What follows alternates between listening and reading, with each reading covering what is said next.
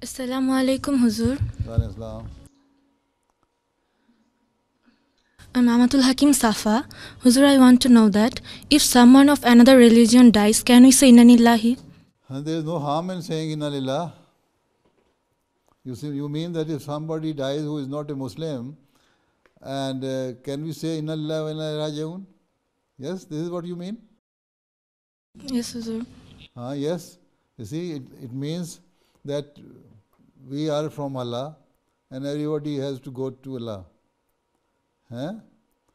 So we can say, yes, that uh, if a person held a wrong religion, then uh, at least when we say Allah Ta- Inna lillahi wa inna then Allah Ta'ala has saved us from this wrong, wrong thing and uh, Allah Ta'ala always keep us saving from this wrong thing.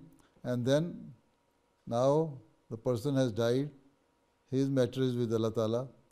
Now Allah Ta'ala will deal with him whichever way he likes. So when we say Inna Lillah, it means that was a loss for us, for, the, for his uh, family. But at the same time, we are also thankful that Allah Ta'ala has saved us from the wrong religion. And He has, all, we, are, we are blessed that Allah Ta'ala has made us to accept the true religion. Right? So there is no harm in saying, Inna. That is just a prayer for yourself as well. That Allah Ta'ala also save you from all the losses. Right? Right or not?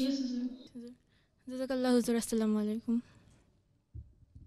وعلیکم السلام۔